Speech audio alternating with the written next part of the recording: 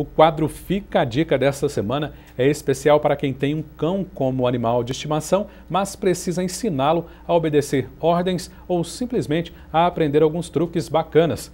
O adestramento é um processo que disciplina os cães a partir de um treinamento com profissionais. Se você está precisando dessa ajuda, veja a reportagem.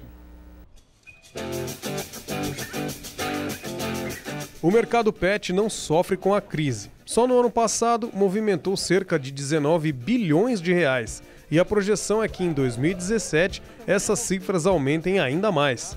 E uma das áreas desse mercado é o adestramento. André trabalha há mais de 20 anos com isso e confirma a força desse setor. O mercado pet brasileiro é considerado, considerado o terceiro melhor do mundo, perdendo apenas para os Estados Unidos e para o Reino Unido. Então a crise passou longe desse mercado. Os donos dos animais procuram o André para ensinar pelo menos o básico para os bichinhos. Adestramento básico são três meses. E os comandos básicos seriam senta, deita, fica aqui e junto. Cada cão é um cão. Né? Há raças consideradas mais, mais difíceis, né? como o Afghan Hound, é, vamos dizer assim, as raças pequenas também, igual Lhasa, Apso, Shih Tzu, York. Mas eu já peguei várias dessas raças que são maravilhosas, cara. Aprenderam super bem. Luna tem dois anos e aprendeu um monte de truques, olha só. Senta. Bonito. Fica. Fica. Existe o método que a gente chama de recompensa, né, que é o reforço positivo.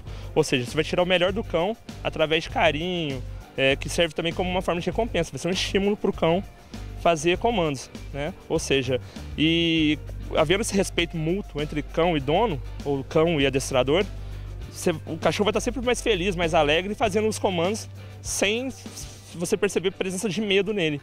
André lembra que qualquer cãozinho pode ser adestrado, mas tem uma idade ideal para começar o treinamento.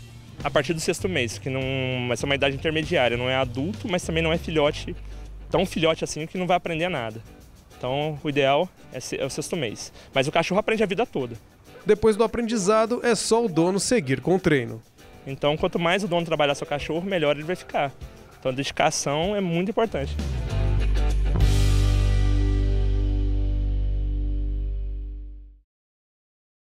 Na próxima semana, o quadro Fica a Dica pode ser feito com a sua participação. Se você tem um tema interessante para uma reportagem, entre em contato com a gente. Envie mensagem para tvprincesa.varginhacultural.com.br ou ligue para os telefones 3690-2110 e 3690-2711.